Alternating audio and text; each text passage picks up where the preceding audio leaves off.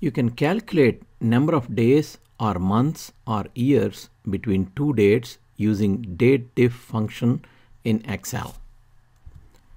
The example worksheet has two dates in cells F4 and G4. To find the number of complete days between two dates, click on cell H4. In the formula bar, type equal to the function DATEDIF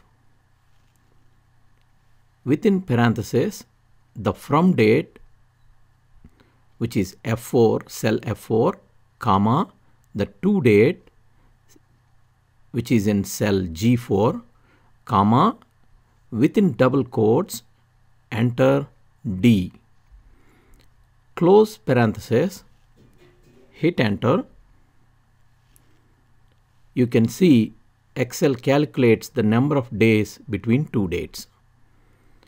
You can use same function with the third argument as m to find the number of complete months between the two dates.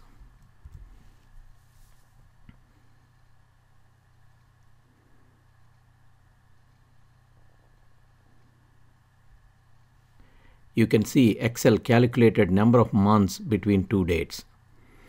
You can also find the number of complete years between two dates using the third argument as y.